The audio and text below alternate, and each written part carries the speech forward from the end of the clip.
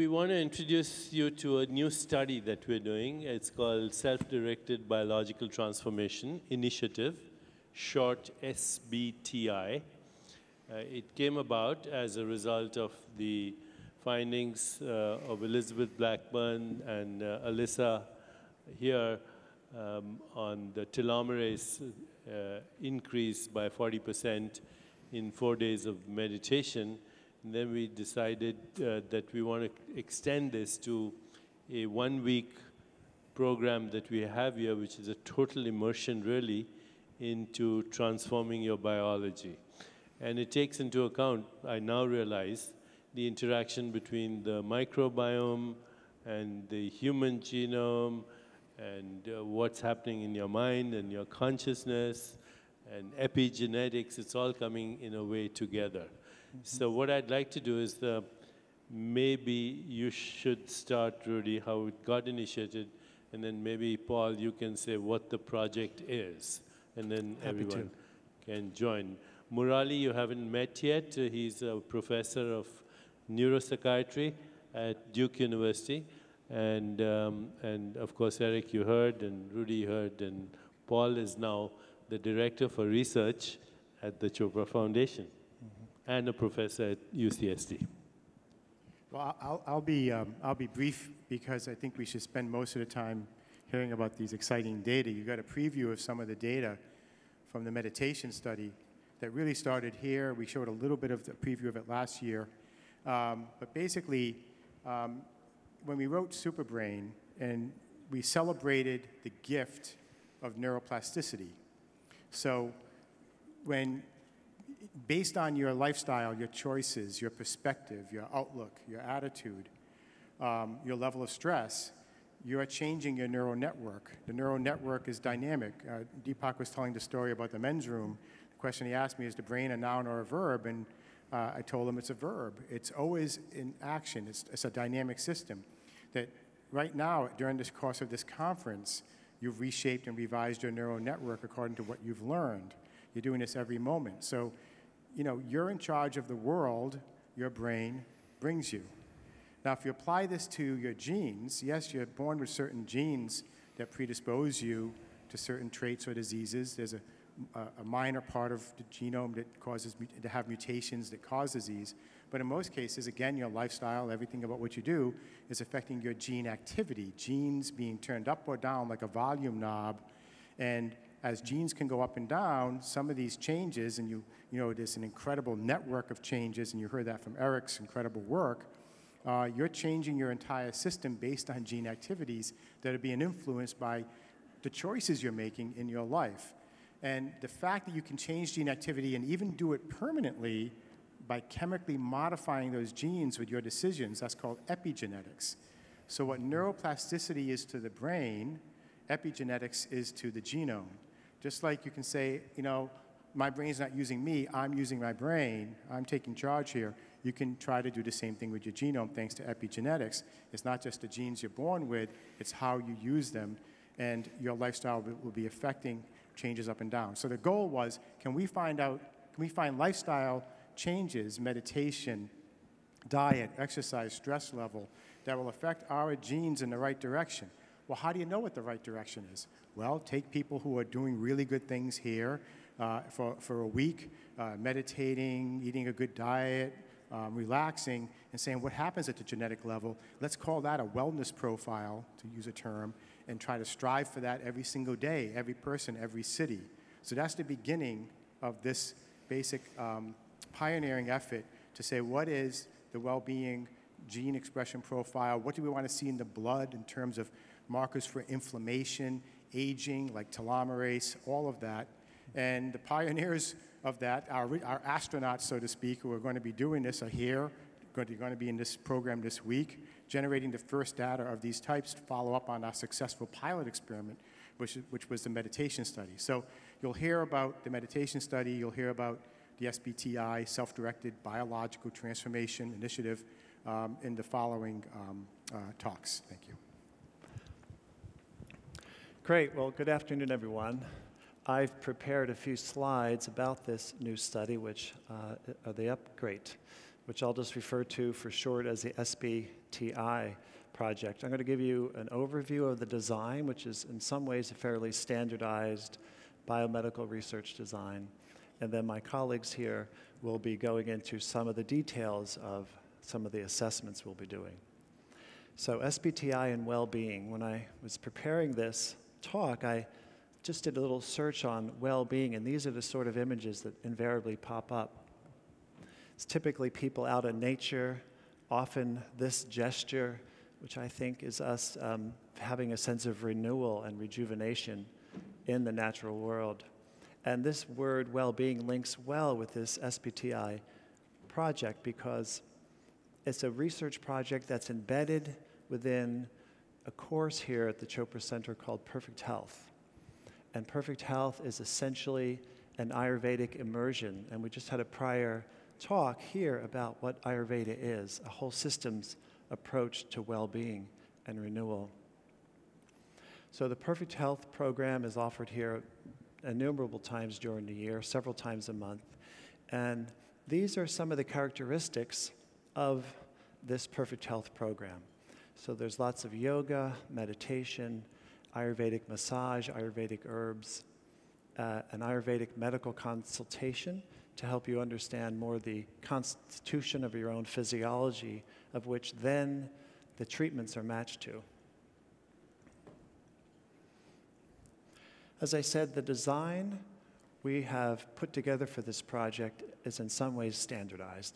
We're going to have participants, they'll be randomized for the most part into either the Perfect Health course to take place here at the Chopra Center or a control group, which will essentially be folks who also come to La Costa and have a week, essentially a resort week, which will also presumably improve their well being, but we're hypothesizing not nearly as much as the Perfect Health course itself.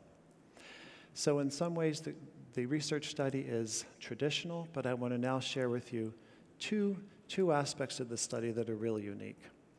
And uh, Deepak and Rudy already referred to this that number one, this is a multi institutional project. I've been doing clinical research for over 20 years. I've done a number of studies where we've had two, maybe three, maybe four institutions, but this is a compilation of eight institutions, which I have them listed here. I won't read them all out, although uh, my home institution is the University of California, San Diego. It's the one on, my, on the lower left. I'm looking at it. it looks like I made that image a little larger than the others, maybe unconsciously. Notice that. Noticing that, yes. Um, the beauty of this uh, interinstitutional collaboration is that we have expertise of all these scholars, scientists, and clinician scientists. And I'm going to show you on this slide all the things that we're going to measure. And the slide's going to fill up with lots of images. I don't have time to go into the rationale of each one, but uh, some of the subsequent presentations now will get into that a little bit more. So we're going to be taking blood samples to look at DNA, RNA, and protein expression. Heart rate variability, uh, this was presented earlier with Stephen Strobel at Scripps, and we'll be assessing some of the autonomic nervous system, uh, which is a very important indicator of wellness of the, uh, of, of the nervous system itself. We're going to be assessing the microbiome both in the gut and also in skin. And this uh, is a very interesting hot area in medicine these days, which um, we will be speaking about in a few minutes.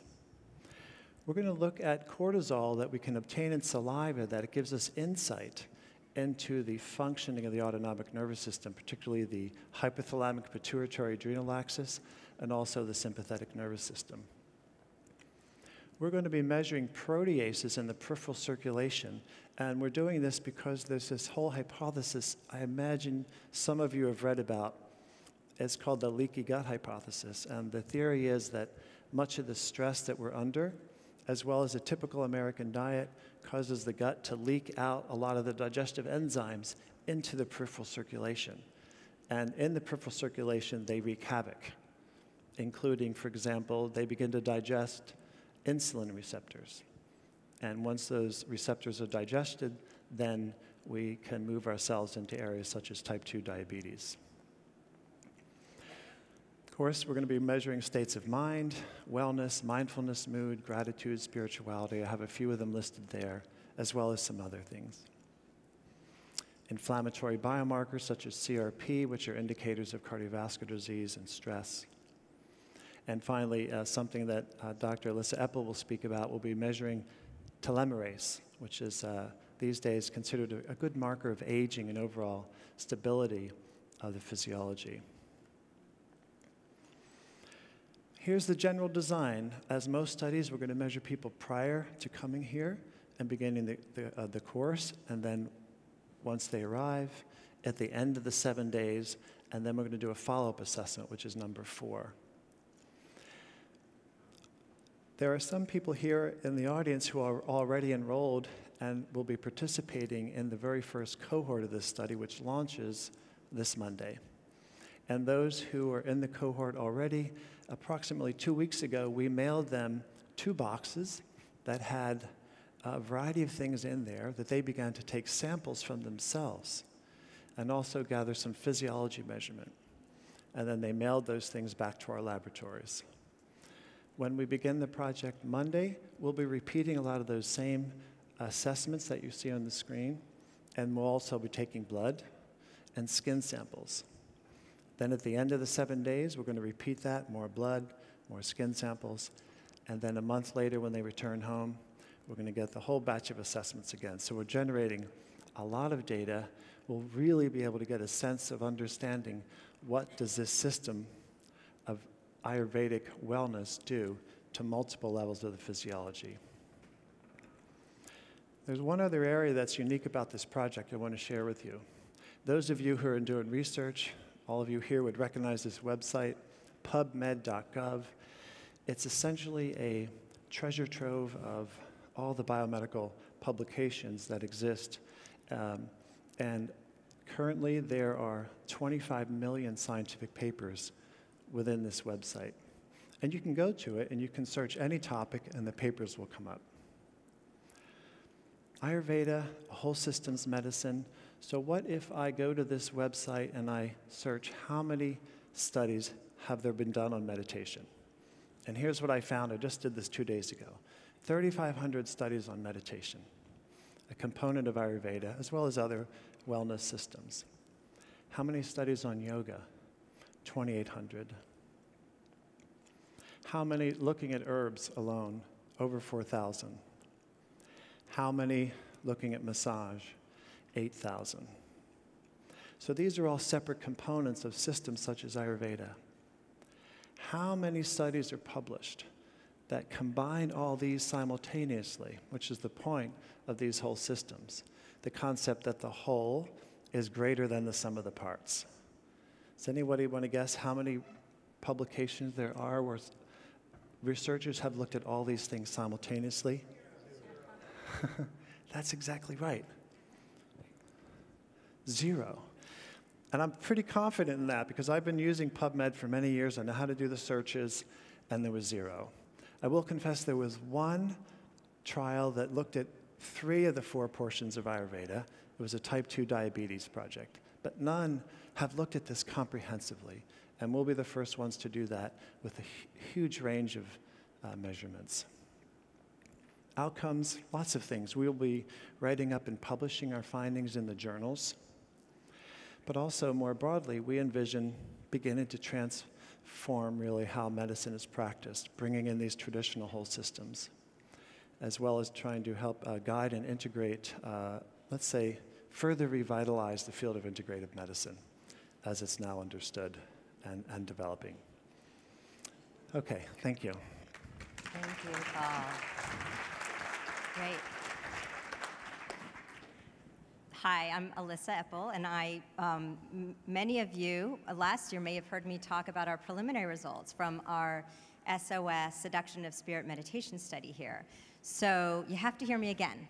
But um, last year, I kept before every single finding said this is preliminary, and I was tense, and I said no tweets, and we didn't believe our own findings. So now we're done, and we have confidence, and we have new findings. Mm. So let me tell you what we found. Now, first of all, I just want to mention how remarkable it is that Deepak opened up the whole Chopra Center and retreat to be studied. Whether we found positive results, neutral or negative, you know, he's completely open, partly maybe because he doesn't believe in the, you know, narrow linear causal model anyway. But um, it's been really incredible to be able to do such a controlled study um, in a center like this. And part of the problem with studying meditation is the people who go to these retreats, like many of you, are already experts. You probably have different neural pathways and ways of responding to stress. And in fact, um, we did study some of the experts, and, and we did find they're quite different. They walk in with more positive affect. They um, uh, score higher on spirituality, they actually have suffered more. They had more early trauma and early life adversity, which may well be why they found meditation in the first place. So we needed to do a well-controlled study, and one of the big challenges is to really separate out the relaxation effect. We heard about the um, the uh, rest and digest effect um, from Steve Steinhubl. It's a huge effect.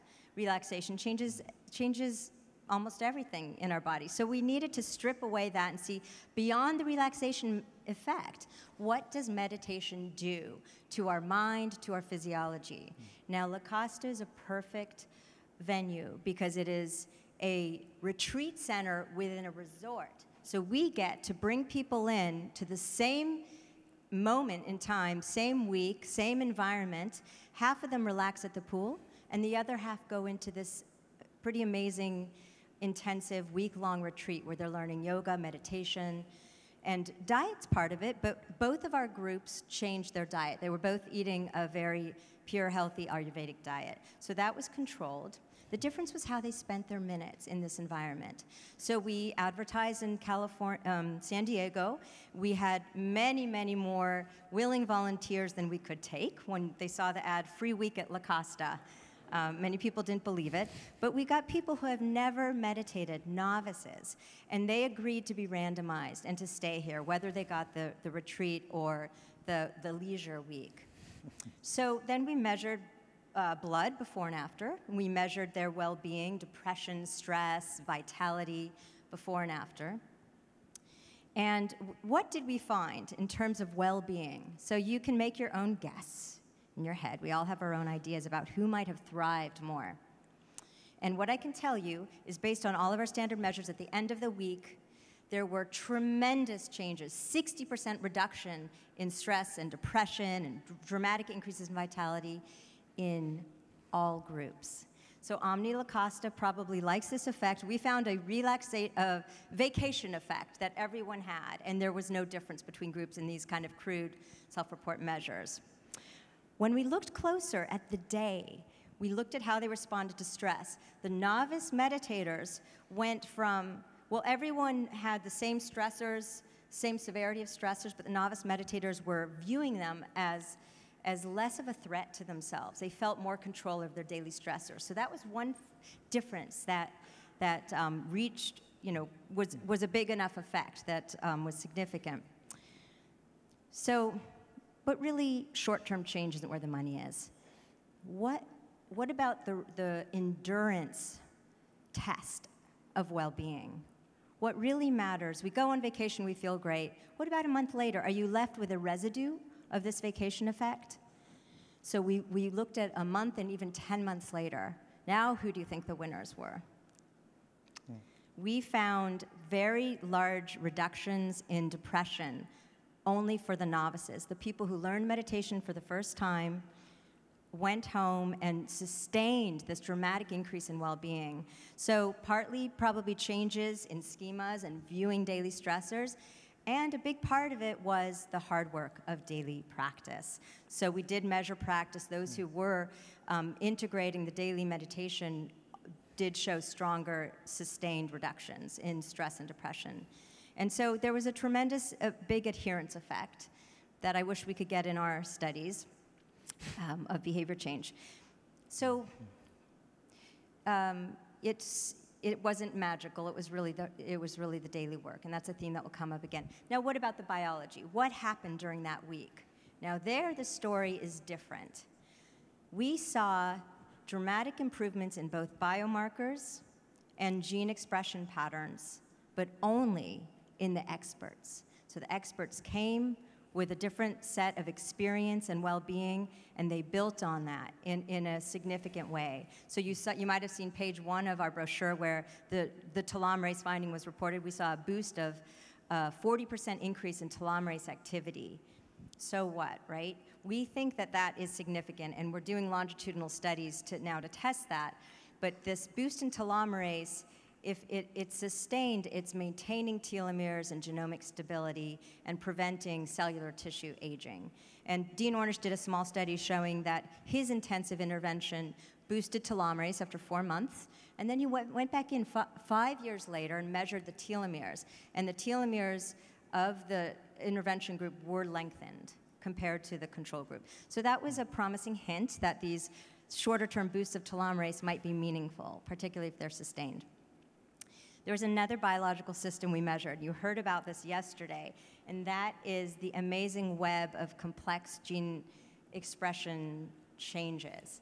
And Eric, I'm going to let Eric put this finding in context, but I'll tell you that um, we found that we were able to see very strong patterns, changes in gene expression from the beginning to the end, that these patterns, not surprisingly, were suppression in our stress response and wound healing response, people were able to turn that machinery off during this relaxing week. But the meditation group, the experts, had a novel gene expression network that was related to um, different biological factors that we think reflect better aging and better um, protein folding and, and, cellular processes that we think are important in longevity. So we're, we're still exploring that, and Eric will talk more about that. So I, I did have um, some friends who, some colleagues who happen to be in the retreat that I, that I see around, and, and they do still maintain this um, daily meditation. And I think, you know, why wasn't I in their seat? Why was I on the researcher side for that study, that particular study? So I'm coming back um, for, the, for that retreat for myself. But anyway, so the bottom line here is that uh, meditation every day may improve the function of our DNA and I'm going to turn it over to Eric, who can explain what we, um, what we, next steps for how we really understand these gene expression findings. Thanks.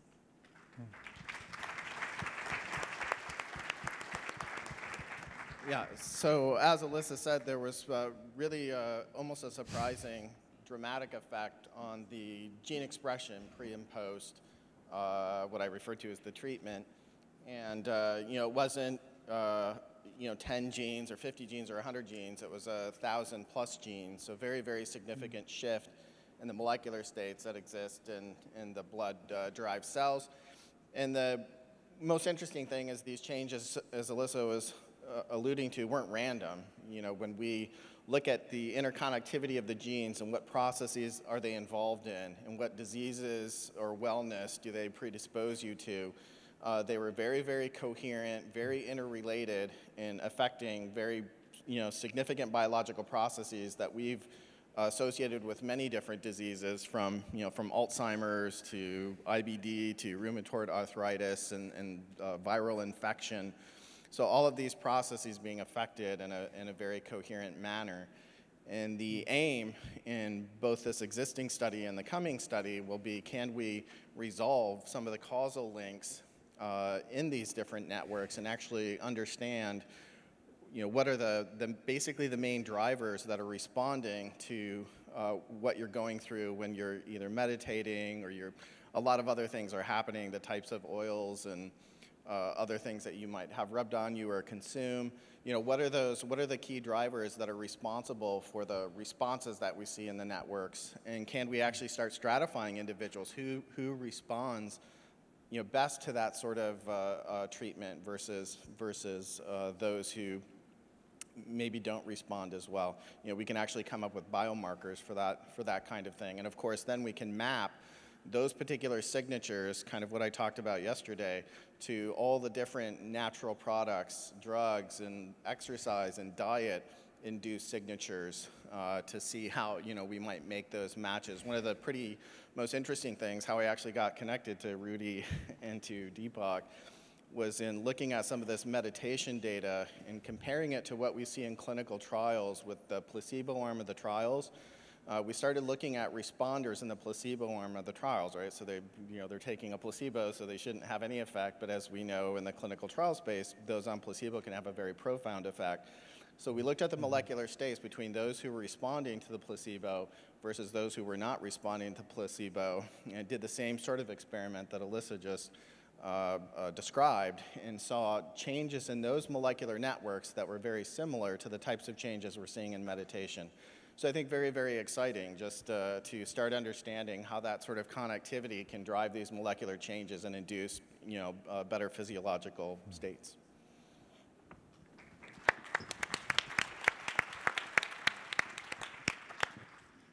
Good afternoon and uh, namaste. Thank you, Deepak, for inviting me. It's an honor.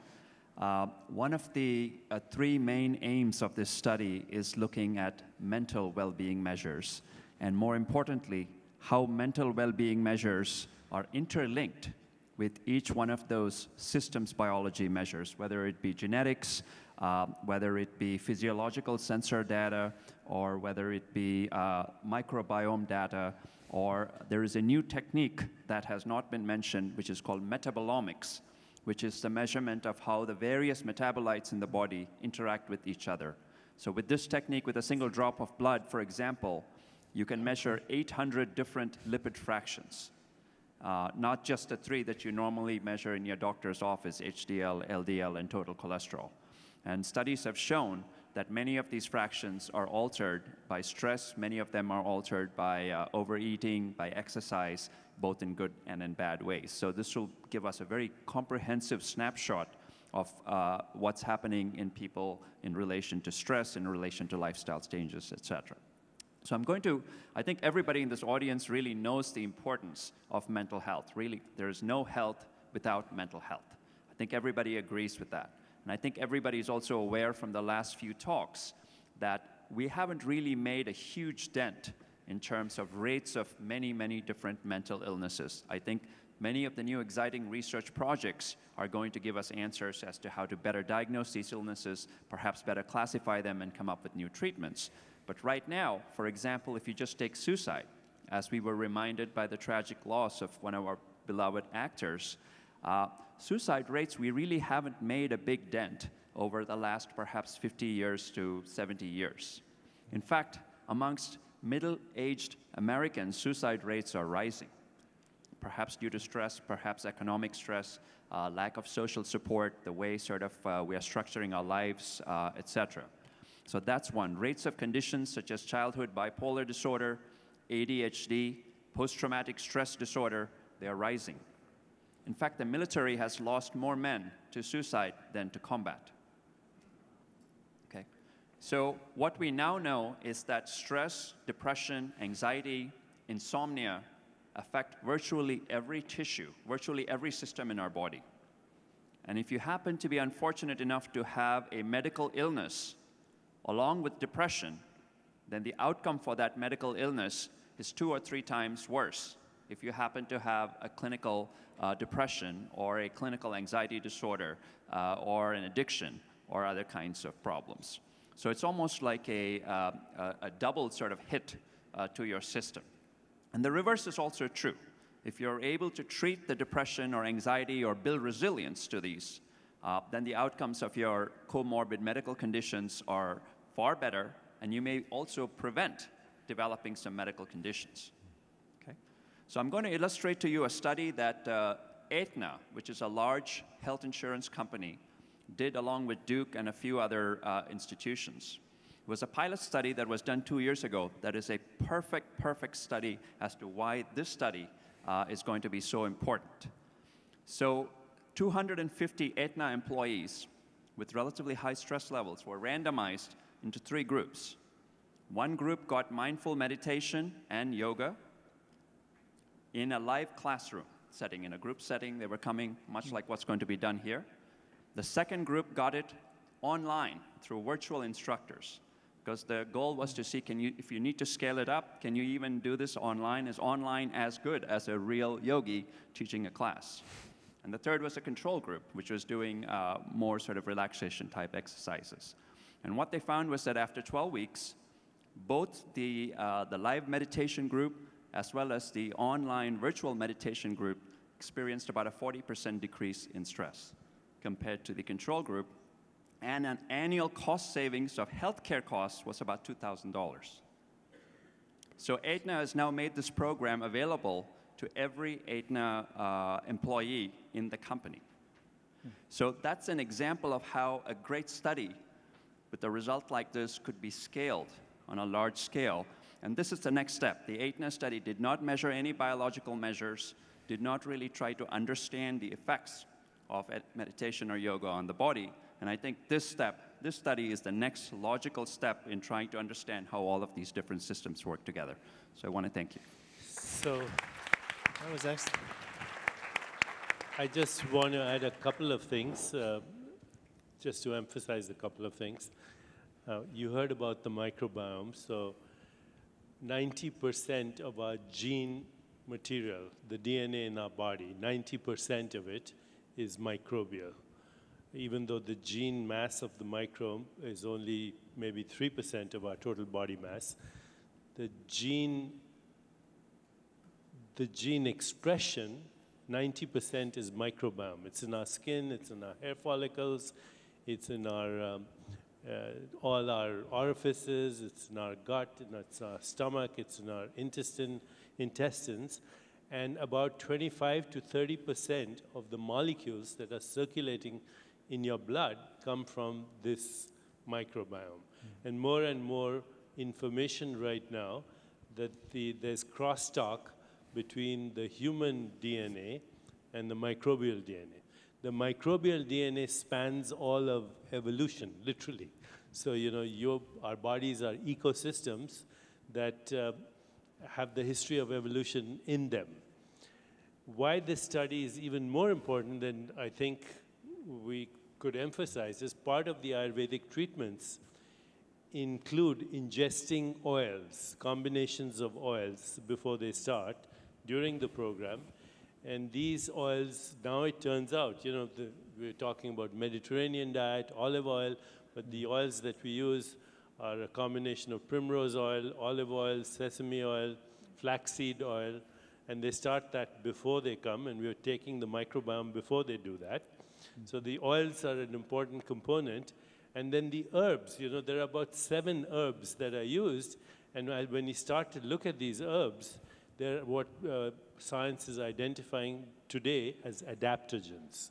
So they modulate the effects of stress or cortisol at a cellular level, some research. But now, with our being able to look at the microbiome, look at the crosstalk between the microbiome and the human genome, and the fact that we're combining all these things, including diet, even though the controls will get Ayurvedic diet, but you know, the fact is our, uh, the people who are studying, being studied are taking a plant fiber as well, which the controls won't be getting. So the diet itself alters the microbiome too. And we'll have this little bit of difference between the controls and the ones who are going through us. So it's truly a systems biology, holistic approach. Now, does anyone want to make any comments? Because I just have to share a short story uh, before the conclusion. You know, I'm, I've been interested in this for now 30 years, and we've heard a lot about stress and stress management, and I just, I don't know, Bob Thurman walked away just now, but if you look at the traditions of meditation, it wasn't about stress. So my teacher, my guru, Maharishi Mahesh Yogi, who's also known as the guru of the Beatles, unfortunately, Maharishi, when he first came to this country, you know, we had some of these conferences about stress, and one day he called me aside and he whispered, whispered in my ear, he said, what is this stress? so I tried to explain to him. I said, people are calming down, they're sleeping better. He said, but meditation is not about sleeping better, it's about waking up. It's about waking up to your true self, which is consciousness. Mm. And so, you know, my obsession with all this has been since then. So in 88, I wrote a book called Quantum Healing, which I think Elissa has read. And I postulated in that book, and it was, of course, criticized by mainstream medicine, although it got a good review in the New England Journal of Medicine, short one. Um, uh, I wrote the book Quantum Healing, basically saying that if you restored your body into its original state of pure consciousness, then homeostasis would occur. And that would be called, the healing system is basically what's restoring homeostasis. The book became a national bestseller, uh, despite being vilified by a lot of the mainstream. But one of the outcomes of that um, book was I got a call from an old friend of mine, George Harrison of the Beatles. And he came and we spent a week together and he wrote a song. And I'd like to close this, this with George Harrison's original song. Based, the lyrics are from the book, and it talks about consciousness being inside of you and also everywhere. Only the Beatles could have written stuff like this. So I want you to hear this song, and the lyrics are there. And he signed, of course, the lyrics to Deepak, my first quantum mechanical song. John.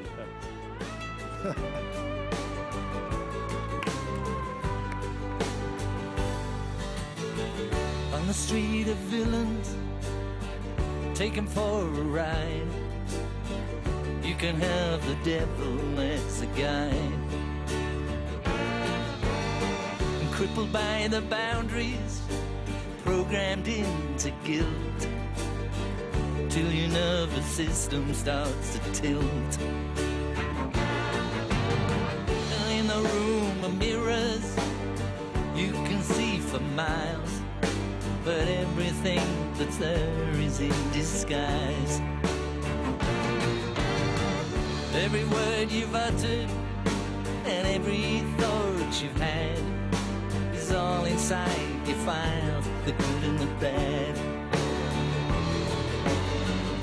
But in the rising sun, you can feel your life begin. Universe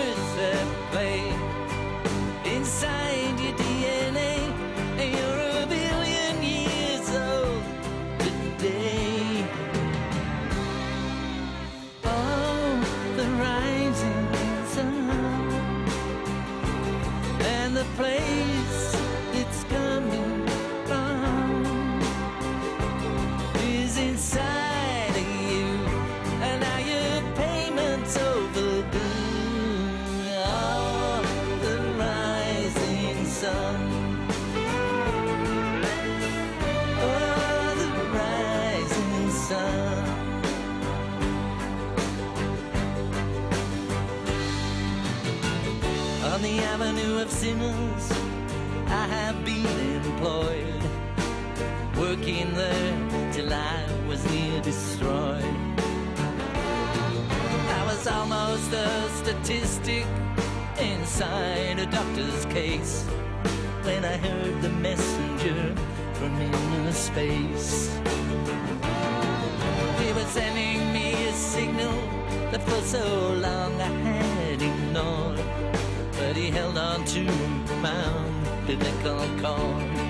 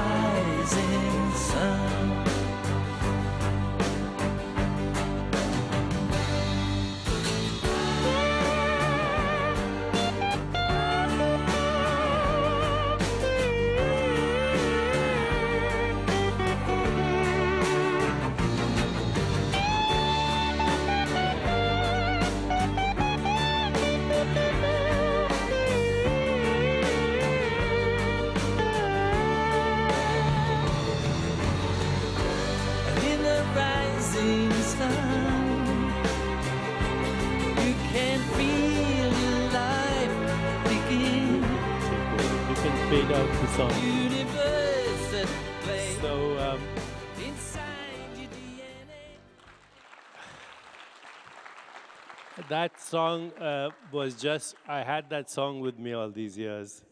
It was unpublished. And then after he passed away, I gave it to Olivia, his wife. Just got published. The universe at play inside your DNA. You're a billion years old today from the Beatles.